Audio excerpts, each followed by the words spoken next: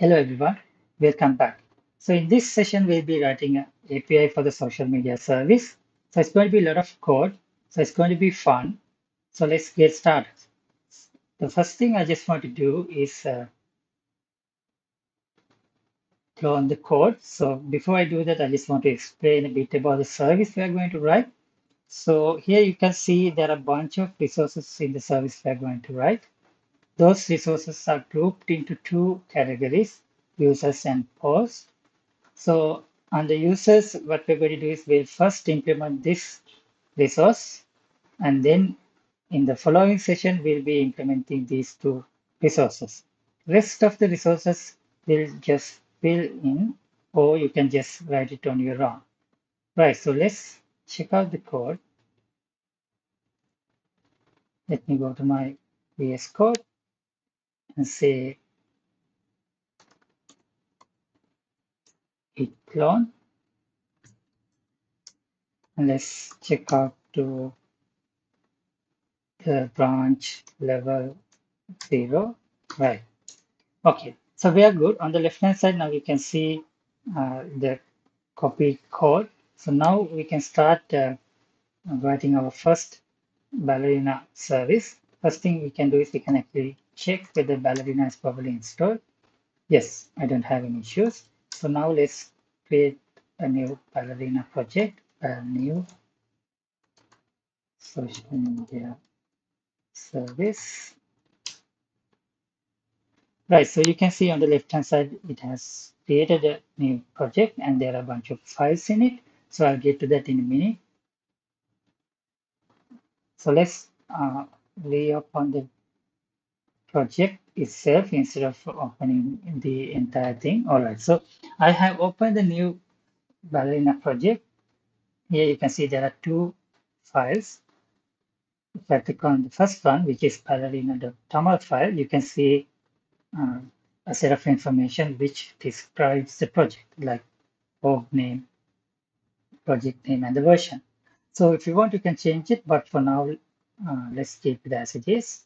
And then if I click on main.bal, you can see there's a main function in the file. So we don't need this. Let's get rid of that. And maybe we can rename this to a more meaningful name, like social media service. Right. So now if you can't remember the syntax for creating a service, what you can do is you can use the diagram editor to help you get started. Here you can click on components and then the component we want is a service. Right. So let's give a base path for our service. Say social media. So it's not happy because there's a dash. You can uh, fix that by escaping it. And then I'm okay with port 9090. So let's save this. And on the left hand side, you can see the code is generated for you. So I'll just close this.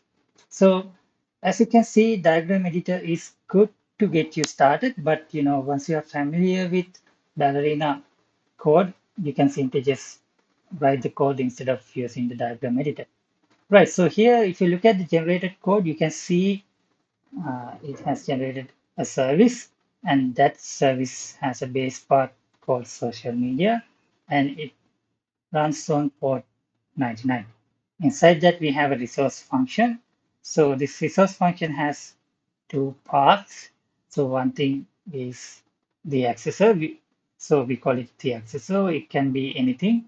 So in this context, it is basically HTTP verbs like get, post, post, like that.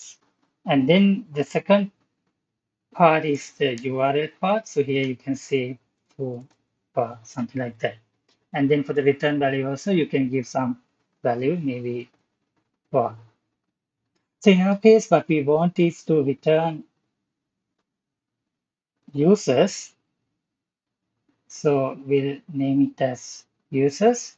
And then here we can have an array of users or, or just an array. I mean, uh, just an error.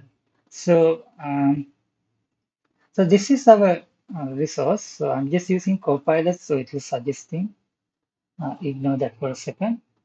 Uh, if you look at this uh, resource, what it basically says is that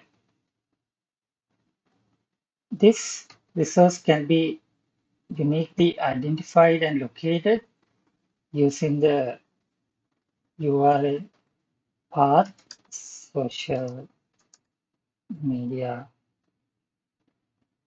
users.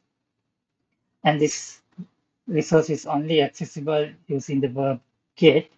And if you check the return part of this user's resource function there are two possibilities. Either you can return user array or you can just return an error so if I explain this in terms of HTTP, when you return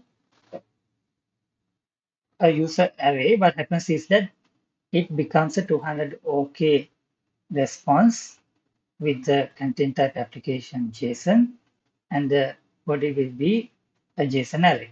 If you return an error, it will be 500 internal server error, and the body will be the error message. So let's try that out and see. So first thing I need to do is I just need to define a user. So let's create a new user and say int id, um, then string name, time, date,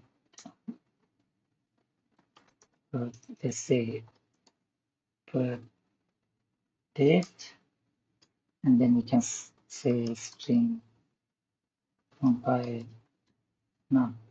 Right. Let's import this time module. Okay, all good. So let's just create a uh, fake user. Let's say Joe. And then uh, the ID, let's say one, and then name. Yes, let's say Joe. And then for birth date, uh, we can say, I'll just put some year.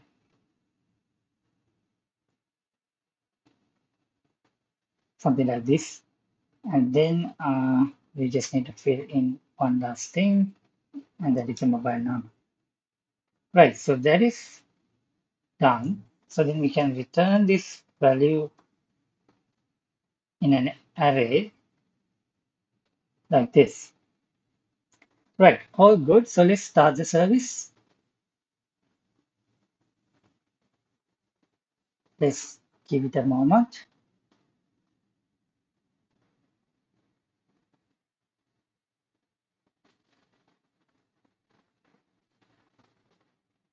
All right, the service is started. To try out the service, you can just click on try.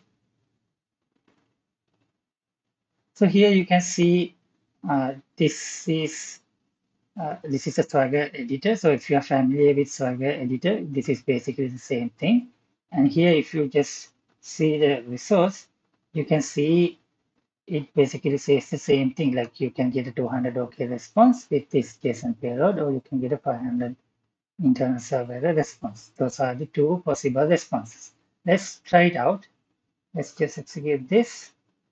And if you check the response body, you actually get what we have mentioned here. Right, so that's about it. So that's all I wanted to discuss in this uh, uh, video. See you in the next one.